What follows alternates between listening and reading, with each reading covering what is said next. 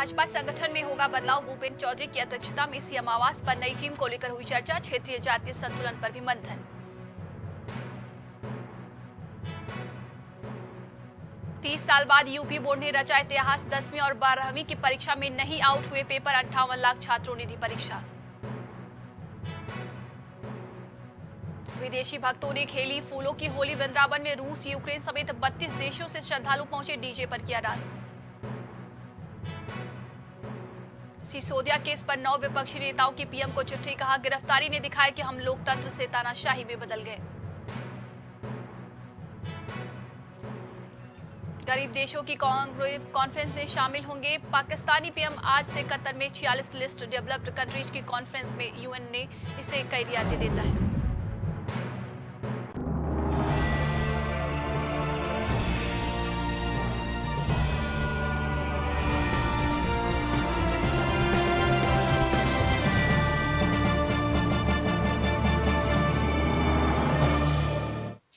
नमस्कार, आप देख रहे हैं प्राइम टीवी और मैं हूँ आपके साथ नंदिनी यादव। वक्त हो चुका है उत्तर प्रदेश की बड़ी खबरों का रुख करते हैं खबर की ओर। विधानसभा अध्यक्ष ने सर्वसम्मति से सदन को अदालत के रूप में परिवर्तित करते हुए कार्यवाही शुरू की और संसदीय कार्य मंत्री सुरेश खन्ना के प्रस्ताव को सर्वसम्मति से स्वीकृत होने के बाद सजा की घोषणा की।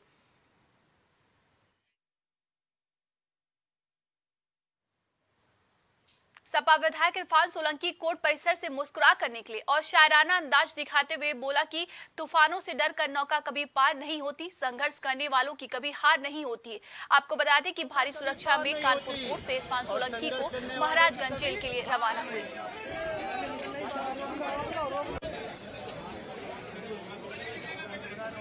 इरफान भाई क्या कहेंगे? आरोप तय नहीं हो पाए क्या कहेंगे क्या कहना चाहेंगे? तूफानों से डर के नौका कभी पार नहीं होती और संघर्ष करने वालों की कभी हार नहीं केंद्रीय रेल मंत्री अश्विनी वैष्णव एक दिवसीय दौरे पर बिजनौर पहुँचे। इस दौरान रेल मंत्री ने कहा कि मोदी सरकार ने रेलवे विभाग में उत्तर प्रदेश को सर्वाधिक बजट दिया है। इसके पीछे मकसद उत्तर प्रदेश के रेलवे स्टेशनों का नक्शा बदलकर उसकी अलग पहचान बनाना है।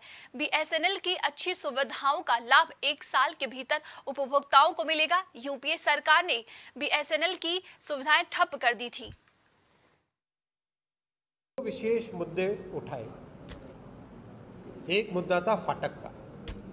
भाई, फाटक पे तो जगह जगह पे ऐसी परिस्थितियाँ हैं कि आधे आधे किलोमीटर लंबी लाइनें लग जाती हैं। और अपने यहाँ तो उत्तर, इधर तो पश्चिमी उत्तर प्रदेश में तो गन्ने की खेती होती है। बड़ा सा ट्रैक्टर और उसके पीछे उसकी बड़ी सी ट्रॉली। छोटे अगर अंडरपास बने तो उससे काम नहीं होता। तो इस सारे प्रवासों का जितना निचोड़ था, लेके गया मैं माननीय प्रधानमंत्री जी के पास।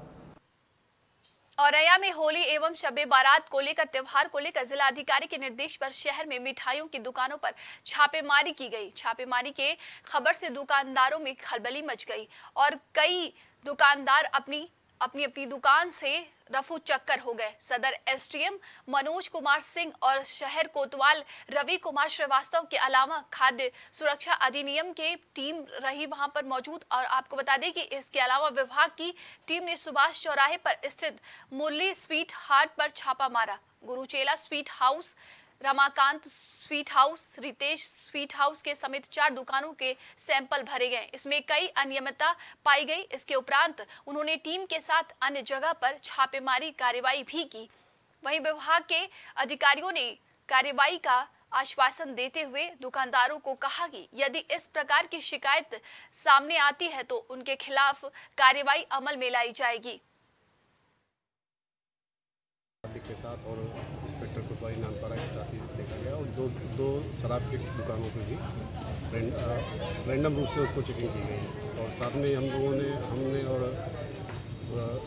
कोतवाल रैया ने हम लोगों ने दो गाँव में जरूलिया में और भीखापुर में भी भ्रमण किया शांति व्यवस्था के दृष्टि और ये ये कार्रवाई इसलिए की गई कि आने वाले त्यौहार में कुछ नकली खाद्य पदार्थ या मिठाइयाँ ना तैयार हो पाए, उसको रोकने के लिए हम लोगों ने कार्रवाई की। सरकार के निर्देश की मिठाइयों औरैया के विधुना सामुदायिक स्वास्थ्य केंद्र विधुना के अंतर्गत मातृ एवं शिशु अस्पताल में चिकित्सा अधीक्षक सिद्धार्थ वर्मा के कुशल नेतृत्व में पहली बार सामुदायिक स्वास्थ्य केंद्र पर सफलता पूर्वक ऑपरेशन के द्वारा बच्चे का जन्म कराया गया। मुख्य चिकित्सा अधिकारी डॉक्टर अर्चना श्रीवास्तव ने कहा की चिकित्सकों की टीम द्वारा सफलता पूर्वक ऑपरेशन कर रहे बच्चों को जन्म दिया गया है। वही इस मौके पर डॉक्टर अश्वनी यादव, हेमलता, ज्योति, अमित कुमार, सतीश कुमार आदि स्वास्थ्य कर्मी वहाँ पर मौजूद रहे। आज विधुना सी हमारी एफ़ आर यू है, चिन्हित है। और हम लोग ने जो पचास चैया मैटर्निटी विंग है, इसको रोटी सुसज्जित करवाई है। और हमारे यहाँ सर्जन साहब एनेस्थेटिक साहब, हमारे नर्स और ओटी टेक्नीशियन और हमारे एम सिस्टर सभी के प्रयास से आज यहाँ पे एक पहला सीज़र हुआ है। और जच्चा बच्चा दोनों स्वस्थ हैं।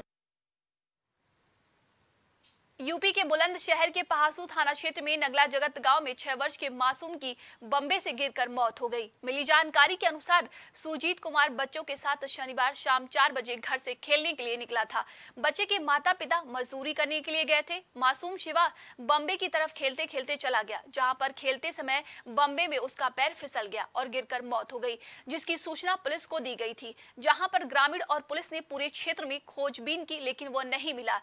रविवार सुबह आठ बजे बजे मासूम बच्चे का शव जटौला गाँव के निकट बम्बे में तैरता हुआ मिला। अचानक हुई बच्चे की मौत से परिजनों में हड़कम मच गया। वहीं परिवार के लोगों का रो रो कर बुरा हाल है।